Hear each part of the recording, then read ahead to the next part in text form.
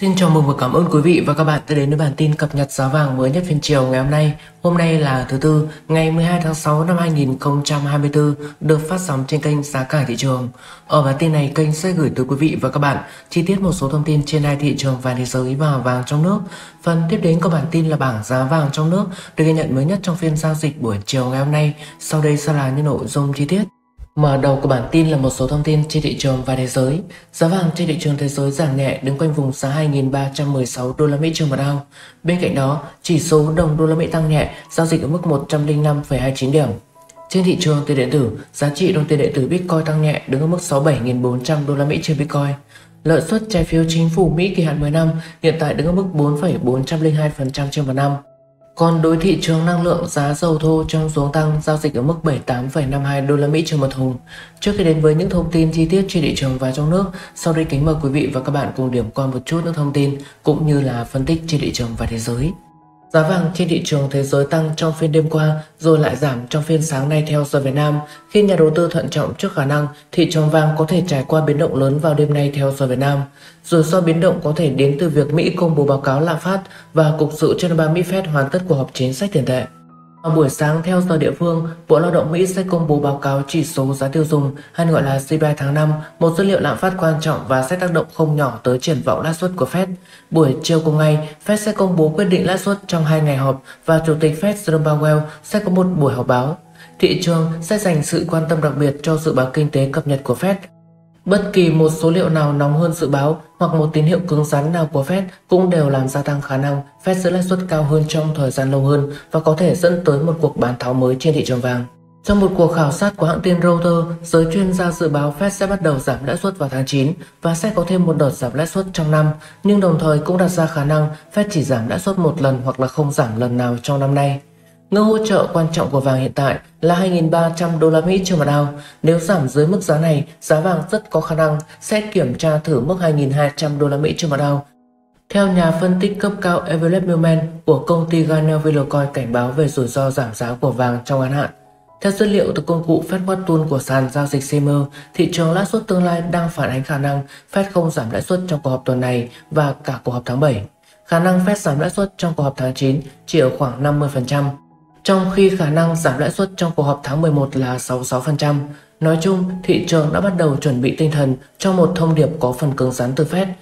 Đó sẽ không hẳn là một thông điệp rằng Fed sẽ tăng thêm lãi suất, nhưng sẽ là Fed cần thêm thời gian chờ đợi trước khi có thể hạ lãi suất, theo trưởng nghiên cứu thị trường vốn của công ty US Bank World Management nhận định với hãng tin CNBC.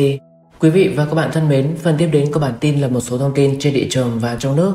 Theo khảo sát, bên cạnh STC và 4 ngân hàng thương mại nhà nước đã thực hiện bán vàng miếng STC nhằm giảm chênh lệch với giá vàng thế giới, thì tại hầu hết các doanh nghiệp kinh doanh vàng ngoài thị trường đều không còn vàng miếng để bán cho người dân và điều này đã đặt ra nhiều nghi vấn về tính minh bạch trong kinh doanh của các nhà vàng. Cụ thể, đã dành tới hơn một ngày để xếp hàng chờ đợi ở nhiều chi nhánh ngân hàng mà vẫn chưa tới lượt mình được mua vàng, bà Nguyễn Quỳnh Như ở Hà Đông, Hà Nội quyết định không chờ đợi mà tìm đến các doanh nghiệp kinh doanh vàng miếng. Trước khi có quyết định này, bà Như cho biết đã tìm hiểu kỹ về giá vàng và biết rằng giá vàng miếng tại các doanh nghiệp lớn không có sự chênh lệch với giá vàng miếng tại năm cơ sở bình ổn giá. Tuy nhiên, sau gần 2 tiếng đi hết cơ sở này đến cơ sở kia, hết thương hiệu này đến thương hiệu khác, câu trả lời mà bà Như nhận về được chỉ có một câu đó là hết vàng. Quá thất vọng, bà Như cảm thấy việc mua vàng bây giờ như đánh đố người dân.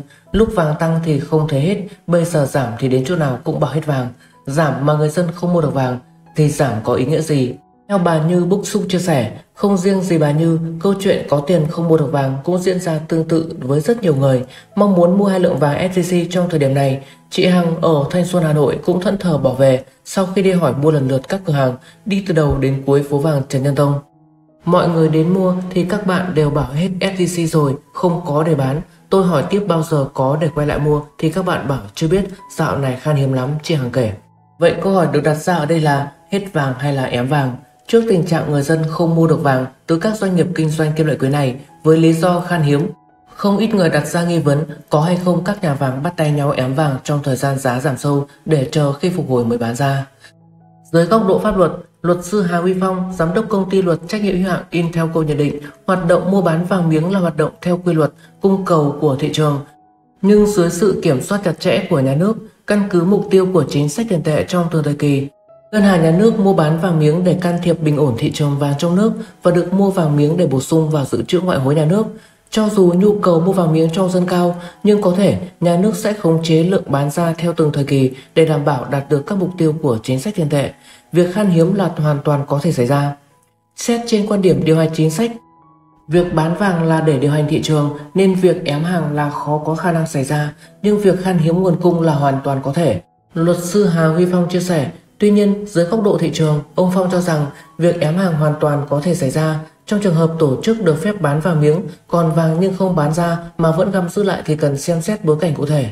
Pháp luật có quy định về hành vi đầu cơ hàng hóa nhưng chỉ áp dụng trong một số trường hợp với điều kiện cụ thể. Phải nói rằng nền kinh tế thế giới nói chung và Việt Nam nói riêng đang ở trong giai đoạn khó khăn và khó dự báo, do đó người dân đổ xô mua vàng miếng tích trữ như một sự cảnh giác và phòng ngừa những biến động tiêu cực của nền kinh tế. Do đó, giải pháp bình ổn không chỉ nằm ở việc số lượng vàng bán ra mà phải làm sao để nhân dân yên tâm chi tiền cho các hoạt động đầu tư, các hoạt động sản xuất kinh doanh, theo ông Phong nhấn mạnh. Và cũng theo ông Phong, nguồn cung vàng trên thế giới vẫn đang rất dồi dào, nhiều nước sẵn sàng xả kho dự trữ để bình ổn thị trường. Đối với riêng Việt Nam, lượng vàng dự trữ đang đứng thứ năm thế giới nên ngân hàng nhà nước hoàn toàn có khả năng can thiệp để điều hành thị trường một cách hợp lý.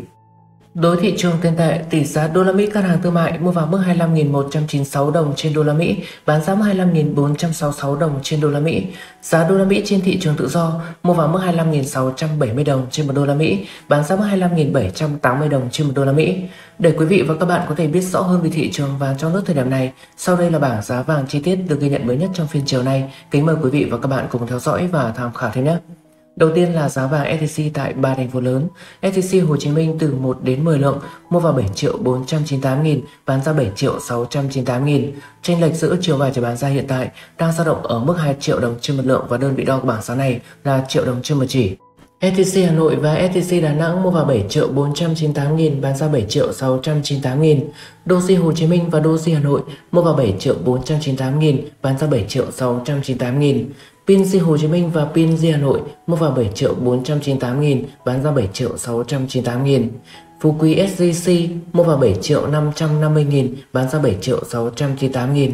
Bảo Tín Minh Châu mua vào 7 triệu 550 nghìn, bán ra 7 triệu 698 nghìn. Mi Hồng SGC mua vào 7 triệu 600 nghìn, bán ra 7 triệu 698 nghìn. Tiếp đến là giá vàng STC một số ngân hàng. Ngân hàng Eximbank mua vào 7 triệu 498 nghìn, bán ra 7 triệu 898 nghìn. Ngân hàng Tbank Gold mua vào 7 triệu 498 nghìn, bán ra 7 triệu 698 nghìn.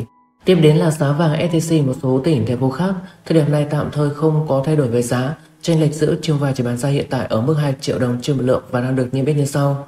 STC Nha Trang và STC Cà Mau mua vào 7 triệu 498 nghìn, bán ra 7 triệu 698 nghìn. STC Huế mua vào 7 triệu 498 nghìn, bán ra 7 triệu 698 nghìn. STC miền Tây Biên Hòa Quảng Ngãi Long Xuyên mua vào 7 triệu 498 nghìn, bán ra 7 triệu 698 nghìn. STC Bạc Liêu Phan Rang Hạ Long và Quảng Nam mua vào 7 triệu 498 nghìn, bán ra 7 triệu 698 nghìn. Cuối cùng là giá nhận bộ số 9 và một số loại vàng nữ trang STC khác. Nhận bộ số 9 từ 1 đến 5 chỉ, mua vào 7 triệu 280 nghìn, bán ra 7 triệu 440 nghìn. Vàng 4 số 9 mua vào 7 triệu 260 nghìn, bán ra 7 triệu 360 nghìn. Vàng 24K mua vào 7 triệu 087,1 nghìn, bán ra 7 triệu 287,1 nghìn. Vàng 18K mua vào 5 triệu 285,6 nghìn, bán ra 5 triệu 535,6 nghìn. Vàng 14K mua vào 4 triệu 056,3 nghìn, bán ra 4 triệu 306,3 nghìn. Vàng 10K mua vào 2 triệu 834,4 nghìn, bán ra 3 triệu 084,4 nghìn. Vàng nhẫn tròn trơn tại Bảo Tín Minh Châu mua vào 7 triệu 368 nghìn, bán ra 7 triệu 498 nghìn. Nhẫn tròn một số 9 Hương Thịnh Vượng Doji mua vào 7 triệu 370 nghìn, bán ra 7 triệu 495 nghìn. Mọi diễn biến tiếp theo trên hai thị trường vàng thế giới và vàng trong nước sẽ được kênh liên tục cập nhật ở những bản tin tới. Quý vị và các bạn cũng đừng quên bấm nút đăng ký kênh phía dưới góc phải màn hình của video này, cũng như tích luôn quả chuông ở bên cạnh để mỗi khi có bản tin mới, kênh sẽ tiện thông báo tới quý vị và các bạn hơn. Còn bây giờ xin chào hẹn gặp lại quý vị và các bạn ở những bản tin tới.